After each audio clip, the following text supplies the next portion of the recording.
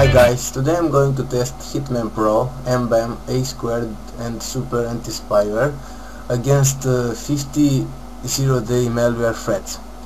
So, I've already downloaded the malware on my VM and now I will do an on-demand scan which, with uh, each one of these four on-demand scanners and see how the detection rate is.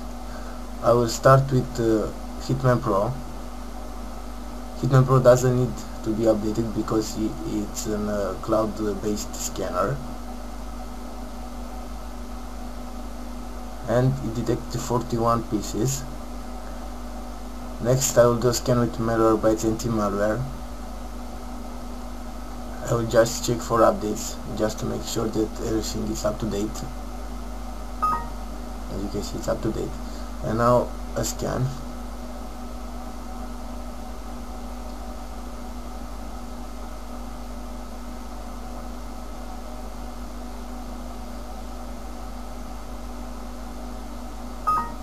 Forty-eight less than uh, Hitman Pro. E squared next.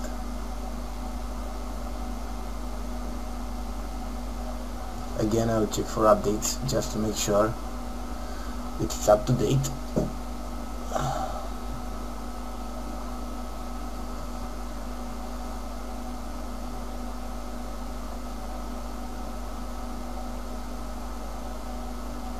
as you can see it's up to date. And now I will do an on-demand scan with A squared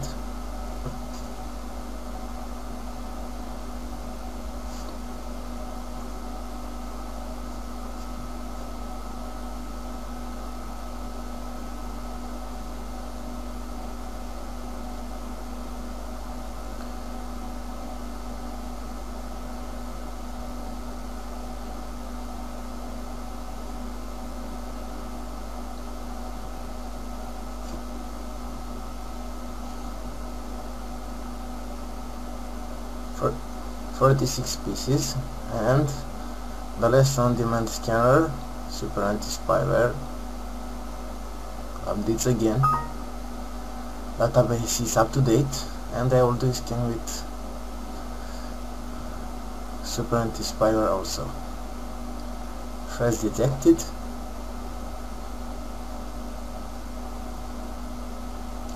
Only 12 so thank you for watching. See you next time